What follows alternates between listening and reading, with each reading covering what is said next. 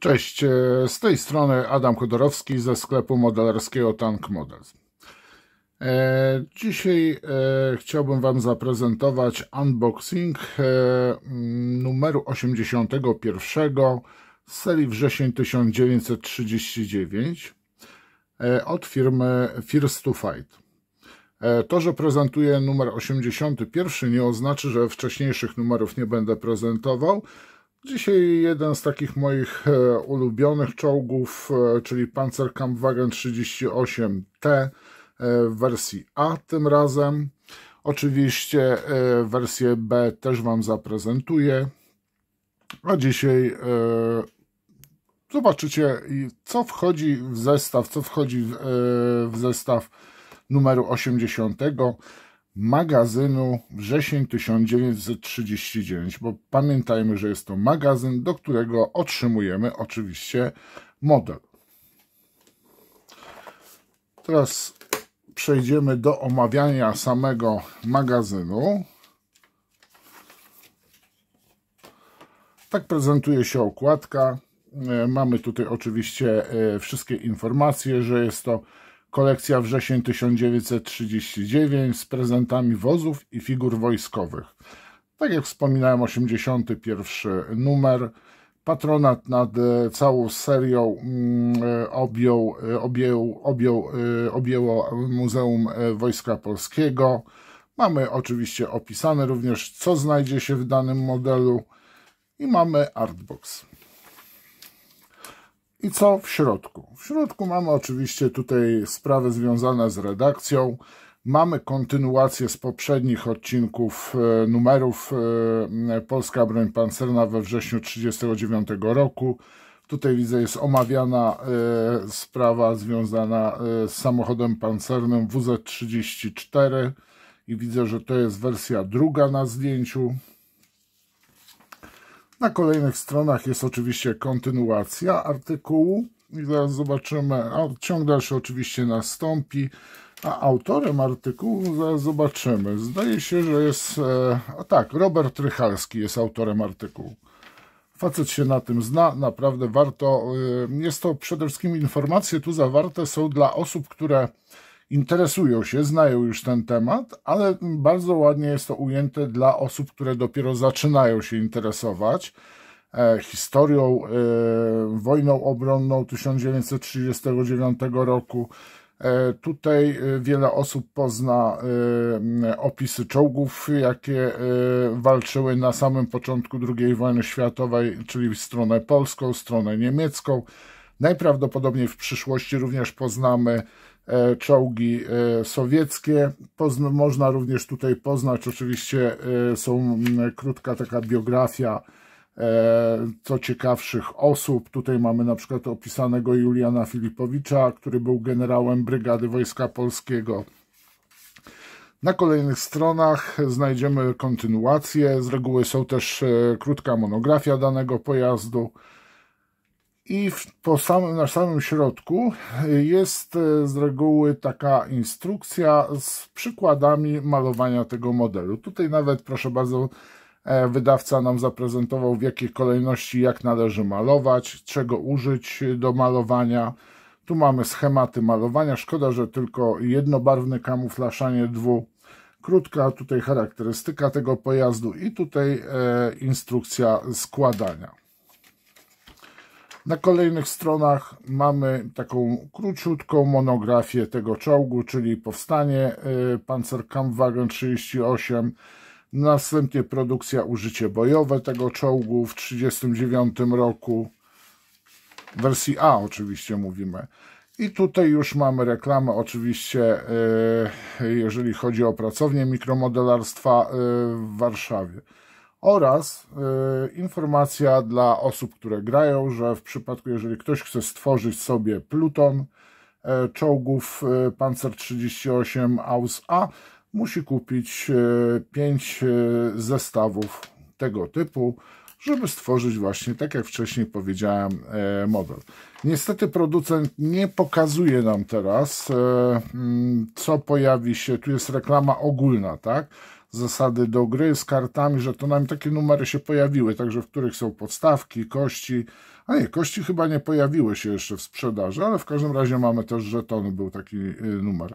Ale niestety nie prezentuje nam, najprawdopodobniej ze względu na to, że e, różnie to e, się dzieje, prawda, z dostawami, z opracowaniem modeli, kolejne modele, jakie będą w serii. To tyle, jeżeli chodzi o samą gazetkę. I przechodzimy teraz do omówienia tego e, przede wszystkim pudełka, jak i również jego zawartości. Na opakowaniu, wiadomo, mamy tutaj oczywiście logo serii, czyli wrzesień 1939, że jest to kolekcja historyczna. Tutaj już producent zapowiedział, że będzie poszerzał e, o kolejne fronty, e, czyli będziemy mieli tak naprawdę najprawdopodobniej całą II wojnę światową, II wojnę światową, ale wszystko będzie pod logiem wrzesień 1939. Mamy oczywiście producenta, e, które, e, jakim jest firma First to Fight, polska firma oczywiście e, i tutaj twórcą, pomysłodawcą tej gry, jak i również serii był właśnie jego właściciel, właściciel tej firmy Tomek Kowalczyk. Mamy bardzo fajny artbox, e, mamy e, również opis modelu, jaki to jest numer, ile jest zestawów w pudełku, tu w przypadku czołgów jest z reguły jeden zestaw i że jest to łatwy montaż. Tak, to są modele dla osób, które e, przeznaczone do gry, proszę wziąć pod uwagę, ale to, że są do gry nie oznacza, że są to prościutkie jakieś takie klocuszki, tak, z trzech, czterech części składające się, nie, nie, nie. Tutaj bardzo dobry model dla osób, które y, zaczynają przygodę z modelarstwem, e, dla y, średnio zaawansowanych, ale też tym modelem na pewno nie pogardzi i z miłą chęcią sklej już profesjonalny modelarz. Na drugiej stronie mamy troszeczkę mniejsze przykłady, jak malować. Mamy również tutaj, proszę bardzo, mini instrukcję, troszeczkę mała jest i znajdują się również o, krótka charakterystyka tego czołgu w języku polskim, niemieckim i angielskim oraz oczywiście dane na firmę. I teraz przechodzimy do zawartości pudełka. Z pudełka wyjmujemy y, dwa woreczki strunowe, fajnie, brawo dla First to Fighta. I z pierwszego woreczka wyjmujemy jedną taką średnią ramkę i dwie malutkie. Na pierwszej ramce, to jest ramka R, ja postaram się tutaj przybliżyć teraz może, to się uda. Widzę, że to się uda, ale troszeczkę jednak kamerę będę musiał oddalić. I to jest ramka R. Na ramce R znajdziemy elementy do góry kadłuba, jak i również no, samego praktycznie tylko i wyłącznie kadłuba. Mamy tutaj kadłub właśnie charakterystyczny dla e, wersji AS, czyli z tym załamaniem. Mamy również tutaj, proszę bardzo, górę kadłuba, w którym miejscu montujemy wieżę. Te elementy są specjalnie tak zrobione, e, ponieważ one wraz z wersjami rozwojowymi e, były zmieniane. I dlatego to jest tak naprawdę kadłub do wersji A. Tutaj część rzeczy mamy już na błotnikach, na przykład tak jak tutaj jest chyba taka zapasowa e, gąsienica do tego czołgu, ale e, to nie oznacza, że ten model jest kompletnie cały uproszczony. Nie. Tutaj wielu będzie bardzo mile zaskoczonych modelarzy i z miłą chęcią na pewno sklei ten model i poświęci przynajmniej półtorej godziny na sklejanie. Powolne oczywiście, no jeżeli ktoś lubi sprint, no to zajmie mu sklejanie tego modelu, myślę, że góra godzina. Tak prezentują się elementy na ramce R. Bardzo ładnie, czysto zrobione, duży detal jest na tym modelu. Tu jedyną rzeczą, ale to ze względów technologicznych, e, tu nie ma e, takiego odcięcia, bo ten element nie stykał się z błotnikami. Tu była po prostu wentylacja e, silnika, który znajdował się w tyle właśnie kadłuba. Ale to jeżeli można, można to przeżyć, ewentualnie samemu przerobić. Ja zostawiłem, sklejając ten model, po prostu zostawiłem go w tej wersji, jak ja, jaką otrzymałem. Już tutaj nic nie przerabiałem. Na kolejnej ramce to są elementy do wszystkiego tak naprawdę. Tu widzimy część jarzma anteny, którą montujemy do kadłuba i tutaj montujemy antenę. To jest znowu specjalna też część do anteny, którą przyklejamy częściowo do tego i ona idzie wzdłuż kadłuba. Mamy tutaj kilof, e, łopatę, czyli tak zwane przyrządy inżynieryjne. Mamy tak samo reflektor. Mamy również przód wieży e, czołgu. Bardzo precyzyjnie wykonane i wszystkie elementy tutaj pasują. Nic praktycznie, tutaj nie, nie, nie używamy szpachli tak naprawdę. Jeżeli dobrze wytniemy element, sprawdzimy najpierw, czy wszystko pasuje, wklejmy z głową, zgodnie z instrukcją, nie będzie żadnych problemów.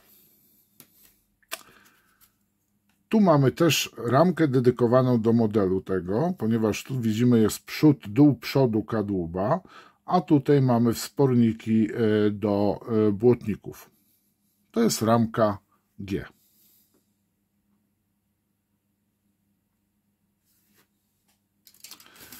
I to jest zawartość torebki pierwszej, a to zobaczymy, co jest w drugiej.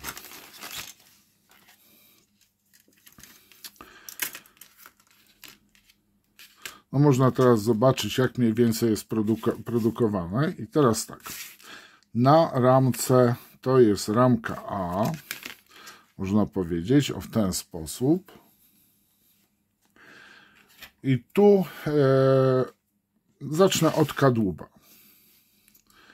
Osoby, które interesują się w ogóle y, modelami, y, na przykład pancer, tymi, które brały udział we wrześniu, ewentualnie walczyły we Francji, czy też później na froncie wschodnim, na pewno znają ten model. Był on wydany przez firmę Unimodels. E, tam jest te elementy, y, przyklejamy oddzielnie. A jeżeli chodzi, i tu widzimy właśnie, że jest bardzo precyzyjnie oddany detal na kadłubie. Naprawdę tutaj, jeżeli chodzi o detal, to yy, naprawdę szapoba dla yy, First to Fighta. Jest on bardzo dobrze zdetalowany, ten model, mimo tego, że jest to model używany tylko i wyłącznie do gry. Ale głównie te modele, na chwilę obecną, z tego co ja się orientuję, i tak kupują modelarze, żeby uzupełnić swoją kolekcję. Tutaj widzimy y, elementy związane z układem jezdnym. Mamy w całości układ jezdny, e, który y, wklejamy do kadłuba, ale teraz uwaga, tu jest monolit, jeżeli chodzi o gąsienicę. Może nie jest ona bardzo precyzyjnie zrobiona, ta gąsienica, e, mm, troszeczkę jest mały charakter gąsienic, ale powiem Wam tak, detal ogólnie na tym modelu jest rewelacyjnie zrobiony. To jest, proszę pamiętać, całość, tak? E, I tu jest super wpasowane to koło napędowe w gąsienicę. Tu mamy y, koła dodatkowe, znaczy dodatkowe, które montujemy od strony wewnętrznej. Mimo to, że jest to y, gąsienica uproszczona, sam układ jest bardzo ładnie zrobiony i naprawdę nie ma do czego się przyczepić. Szkoda tylko, może ja bym zrobił w ten sposób, że te elementy zewnętrzne y, zrobiłbym od drugiej strony, a y, elementy zewnętrzne, czyli te elementy powinny być moim zdaniem na tej stronie bardziej widoczne od zewnątrz. Tu mamy jeszcze elementy do czołgu, tu mamy na przykład hak, który montujemy w e, tyle kadłuba. I ostatnia ramka, ramka B, tak się prezentuje. I tu proszę bardzo, mamy wieżę, która jest bardzo ładnie też wykonana. Ma wszystkie nity, jak i również śruby. Tutaj powiem Wam, nie jestem pewien, czy to są śruby, czy to są nity. E, raczej e, na początku wojny y, śrubowano raczej y, mm, po prostu blachy, ale z racji tego, że to jest kawałek, możliwe, że tu już zaczęto nitowanie. Tu mamy kolejne, tu mamy lufę na przykład, tu mamy włas. Szkoda, że zamknięty jest włas. Tu mamy skrzynkę y, taką pomocniczą na y, błotnik. Tu mamy y, peryskop, który montujemy na wieży.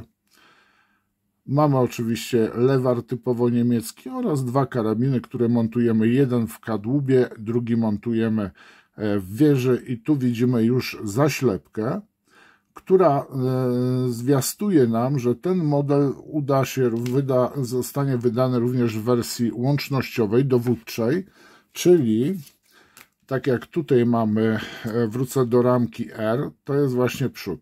Wozy dowódcze nie posiadały karabinu maszynowego w kadłubie i tutaj ta zaślepka y, trafi zapewne w to miejsce i dostaniemy dodatkową ramkę z anteną, którą zamontujemy na tyle kadłuba. No i moi mili, tak naprawdę y, to jest cały unboxing, tylko nie widzę jednej rzeczy, nie widzę, ach, jest w pudełku. Tu będziecie bardzo mile zaskoczeni. Uwaga, to jest zestaw kalkomanii, o, też woreczek strunowy, którego się nie wyrzuca od razu.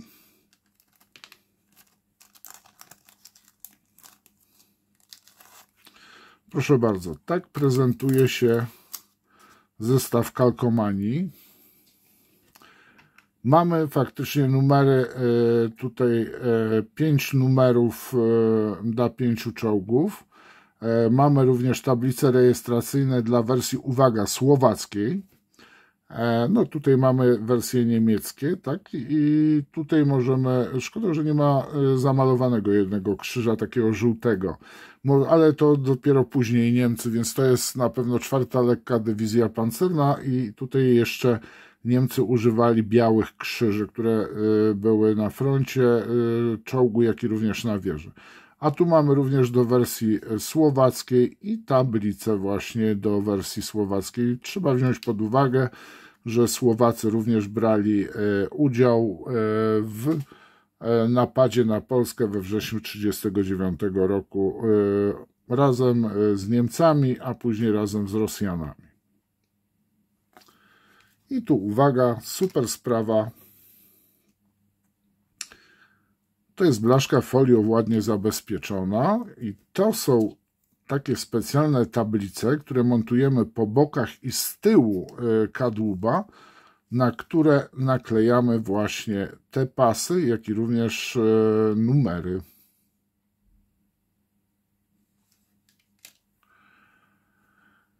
Mamy w tym momencie e, omówiony model już Panzer 38 od firmy First to Fight, jeżeli chodzi o wersję A. Mam nadzieję, że ten unboxing Wam się spodobał. Zachęcił Was do pomyślenia nad zakupem tego modelu, e, aby wzbogacić swoją kole e, tutaj e, kolekcję modeli. Ja bardzo dziękuję Wam za uwagę. Zapraszam oczywiście na zakupy do mojego sklepu internetowego, który mieści się pod adresem www.tankmodels.pl Te modele z First Fighta, jak pozostałe, prezentowane są w ciągłej, e, są dostępne zawsze e, w moim sklepie, więc nie będziecie musieli na nic czekać. Jeżeli po prostu dzisiaj zamówicie e, z rana, jeszcze tego samego dnia modele zostaną wysłane, jeżeli pod wieczór, to następnego. Mam nadzieję, że się podobało. Powtórzę się. E, mm, zapraszam do odwiedzenia sklepu. E, zapraszam również do e, lajkowania, subowania mojego kanału. Mam nadzieję, że też rozpoczniecie fajną jakąś dyskusję na temat Panzer 38 w wersji A i będziecie porównywać na przykład z 38 od Unimodelsa, ewentualnie ogólnie co sądzicie o tym modelu. Ja Wam dziękuję za uwagę, do usłyszenia, a następny unboxing będzie poświęcony Panzer 38 AUS B. Trzymajcie się, cześć.